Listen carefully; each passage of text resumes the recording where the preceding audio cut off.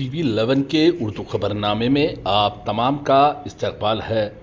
हैदराबाद, सिकंदराबाद दोनों शहरों में, ख़ास करके आजकल नौजवानों में एक नई सी आदत सी हो गई है।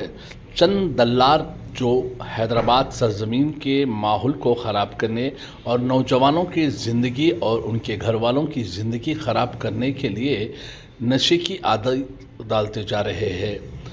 गांजा खुलेआम बिक रहा है। इस चीज़ को ख़त्म करने के लिए तेलंगाना रियासत में नई हुकूमत बनने के बाद तेलंगाना रियासत के चीफ मिनिस्टर रेवंत रेड्डी और तेलंगाना रियासत के DGP Hyderabad police commissioner Cyberabad Rachakonda ने इस चीज़ को थाम लिया है और चैलेंज लिया है कि तेलंगाना रियासत के साथ साथ शहर हैदराबाद और सिकंदराबाद से गांजा और ड्रग्स वाली चीज़, नशीली चीज़ों को मुकम्मल ख़त्म करने का एक चैलेंज लेते हुए किया है।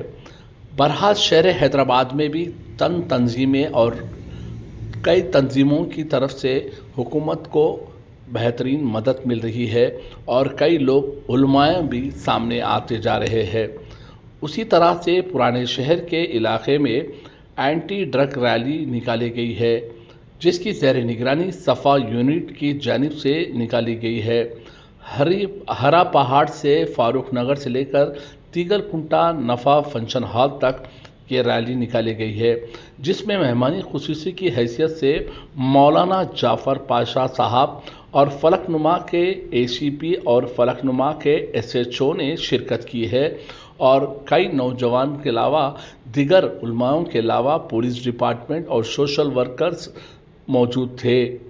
बादाजा मीडिया से बातचीत करते हुए मौलाना जाफ़र पाशा ने कहा है कि आजकल शहर हैदराबाद में छोटी छोटी सी बात को लेकर छोटे बच्चे, जो शर, जो गांजे का और ऑयल और दूसरी चीज़ का ड्रग्स का नशा करते हुए खुले आम कत्ल कर रहे हैं, जिसमें से इंसानियत वाली चीज़ ख़त्म होते जा रही है।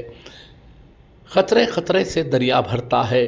हम एक शहरी, एक हिंदुस्तानी की हैसियत से हमारे पुलिस के अलावा हमारी भी ज़िम्मेदारी होती है कि ऐसे चीज़ों पर तवज्जो दे, मुकम्मल गांजे को और नशीली चीज़ों को मुकम्मल सरजमीन हैदराबाद की इस पाक ज़मीन से और तेलंगाना रियासत की इस पाक ज़मीन से पूरा इसको ख़त्म करने की साजिश और मुहिम चल रही है। आइए देखते हैं इस मामले में हमारे नुमाइंदे शेख जावेद की यह ख़ास रिपोर्ट। नाजरीन, जो लोग हमारे इस टी वी इलेवन चैनल को यूट्यूब पर सब्सक्राइब नहीं किए हैं, फौरी यूट्यूब पर सब्सक्राइब करिए लाइक करिए कमेंट करिए शेयर करना ना भूलिए। ट्विटर फेसबुक और इंस्टाग्राम पेज को फॉलो करिए।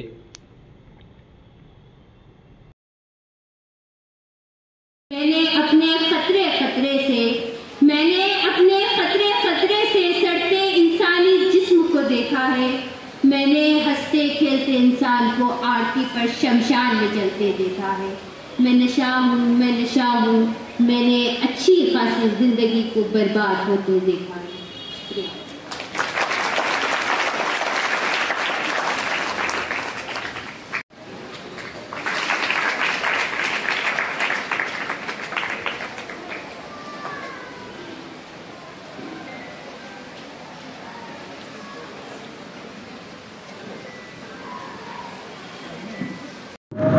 आज सफ़ा की तरफ़ से, माशाल्लाह, एक मुनद हुआ था एक प्रोग्राम, जिसमें इसलाह माशरा की भी गुफ्तु की गई और मौजूदा हालात में जो खत्म गारत गिरी चल रही है और जो नशे के सिलसिले में आजकल हम एक मुहिम चलाने की कोशिश कर रहे हैं और इस काम के लिए ये हजरात ने बड़ी पहल की है।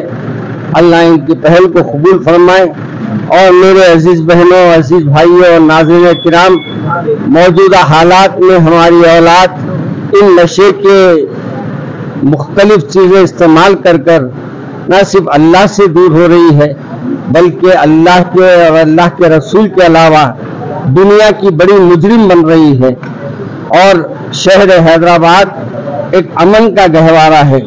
यहाँ ऐसे कुछ अमल किए जा रहे हैं और ये इस से हो रहे हैं कि वो नशे में रहते हैं और वो नशा उन पर इतना सवार हो जाता है कि वो नशे में क्या कर गुजर रहे हैं, कोई इल्म नहीं है। लिहाजा मैं हर वालदेन से अपील करूँगा कि अपने बेटों को घरों में बिठाएँ, घरों में रखें, उनके चलने फिरने पर, उनके खाने पीने पर, उनके मोबाइलों पर नज़र रखें और कोशिश करें कि उनकी किस अंदाज से इसलाह होती है, उनकी इसलाह करें। और दीन इज्तम में ले जाएँ और की सोबत में बिठाएँ।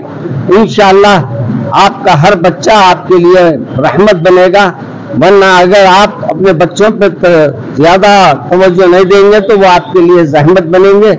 अल्लाह आप सबको अपनी हिफाजत में रखे और हमारे शहर को अमन वाला शहर बनाए।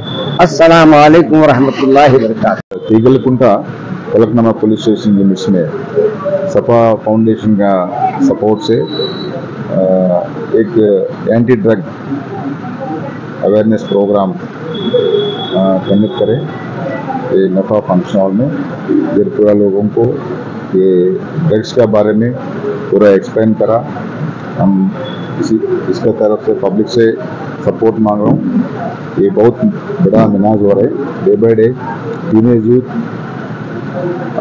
गांजा ऐसा ड्रग्स यूज़ करके क्रिमिनल एक्टिविटीज़ में फंस जा रहे हैं। इसके वास्ते हमारा पुलिस का तरफ़ से हमारा सीनियर अफसर्स के इंस्ट्रक्शन से पूरा पब्लिक को अवेयरनेस करने के वो लोगों को ये मीना से बाहर आने के वास्ते हमारा तरफ़ से कोशिश भी करेंगे।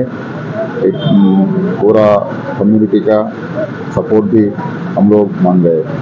पूरा सब कम्युनिटी का सपोर्ट से एमिनास को कंट्रोल करने का हमारा तरफ़ से हम वो कोशिश करेंगे अभी ये पब्लिक में कोई अगर डायल हंड्रेड पे या पुलिस को अगर इतला दिए तो लोग को डर है कि ये गाजी मतलब पुलिस के सामने हमारा नाम